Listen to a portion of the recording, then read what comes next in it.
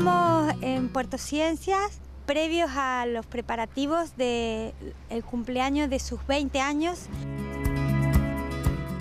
Eh, atrás mío tenemos eh, los principios de lo que va a ser un mural que tiene como motivo un jardín. El mural se va a llamar Metamorfosis y la idea es explicar todas las transformaciones que sufre un gusano para convertirse en mariposa y con eso apoyar nuestro proyecto para el año que viene que tiene que ver con tener plantas alojadoras de mariposas en nuestro cantero.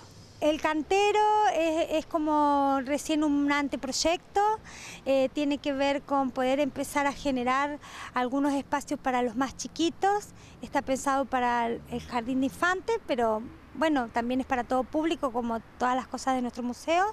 Pero bueno, la idea es que los niños puedan venir, la posibilidad de recolectar hojitas, bichitos que ellos puedan observar y en una primera instancia hacer un reconocimiento explorativo. El mural lo estamos construyendo con los secundarios, eh, con, algunos chicos que son nuestros pasantes de la Escuela Borges y de la Escuela Guadalupe. Son escuelas con las que nosotros trabajamos todo el año y que tenemos algunos pasantes que están ahora eh, atravesando esta experiencia. Algunos están construyendo módulos, otros están preparándose para guías.